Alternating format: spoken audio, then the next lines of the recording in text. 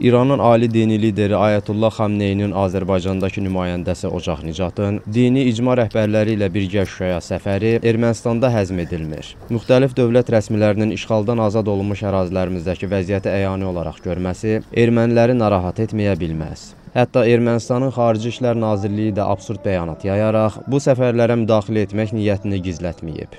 Təbii ki, onların cavabı dərhal verildi və Azərbaycan Xarici İşlər Nazirliyinin mövqeyi qəti oldu. Ermənistan Xarici İşlər Nazirliyinin bu addımı bir daha onu göstərir ki, bu ölkə hələ də beynəlxalq hüquqa zidd olan və ərazi iddialarından çıxış edən mövqe sərgiləyir. Bir daha vurğulayırıq ki, Azərbaycanın beynəlxalq sərhədləri çərçivəsindəki ərazisinə edilən hər hansı səfər Ermənistan tərəfindən nəinki etiraz, heç şərh belə oluna bilməz. Bu ərazilərə səfərlər Ermənistanın hərbi işğalı altında olan zaman qanunsuz xarakter daşıyırdı. Artıq Şuşa azad olunub. Digər azad olunan bölgələrimiz kimi Azərbaycanın tərkib hissəsidir. Bura səfərlər də edilir və ediləcək. Bərpa işləri də həyata keçirilir. Şəhərin qanuni sakinləri öz evlərinə geri qayıdacaqlar. Bir sözlə, mədəniyyət beşiyimizdə həyat yenidən canlanacaq.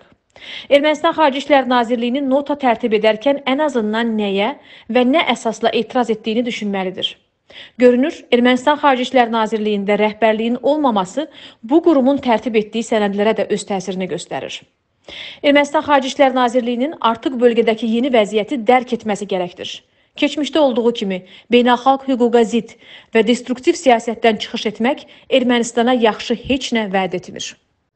Göründüyü kimi məğlub Ermənistan hər vəclə proseslərə müdaxilə etməyə cəhd edir. Bu isə uduzmuş dövlət üçün yalnız təsəlli ola bilər.